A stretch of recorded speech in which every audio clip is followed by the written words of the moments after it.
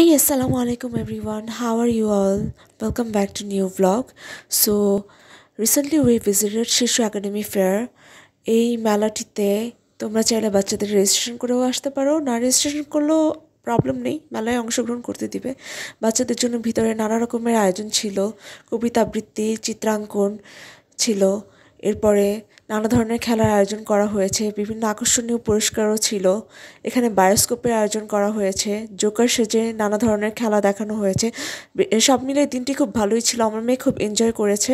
বাচ্চাদের গ্রুপ ফটোও তোলা হয়েছে, এমনকি ফ্যামিলি ফটোও তোলা হয়েছে, সেই ছবিটি আবার প্রিন্ট করে দেওয়া হয়েছে।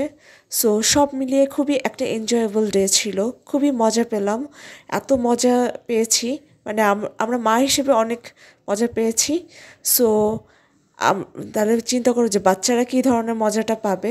এরপরে সব কিছু শেষ করে আমরা চলে আসলাম ঝালমুড়ি খেতে। ঝালমুড়িটা আমার এভারেজ লেগেছে। খুব বেশি একটা ভালোও লাগেনি, আবার খারাপও লাগেনি। তারপর আমরা চলে গেলাম শহীদুল্লাহ হলের ভিতরে। আমি কিছু ফুল দেখছিলাম, তারপরে বেশ ঘোরাঘুরি করলাম। খুব মজা মজাই লাগছিল ওই দিনটা। খুব এনজয় করেছি, খুবই ভালো লেগেছে। আমার মেয়ে খুব এনজয় করেছে। এরপরে আমি বাসায় চলে এসেছি।